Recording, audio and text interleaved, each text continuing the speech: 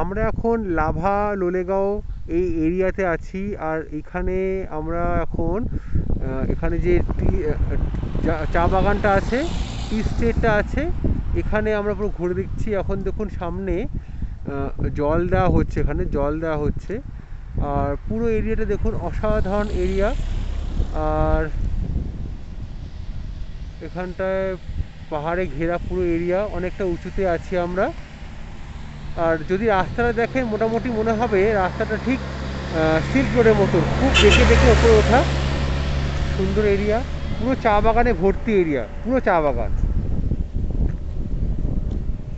এখানে আমার বউ একটু ফটোগ্রাফি করে এসছে ভিডিওগ্রাফি করে এসছে পুরো এরিয়াটা ভিডিওটা আমরা পরে দেবো। ইউটিউব চ্যানেলটা সাবস্ক্রাইব করে রাখবেন। ওখানে পুরো ভিডিও পাবেন আপনারা। সুন্দর জায়গা।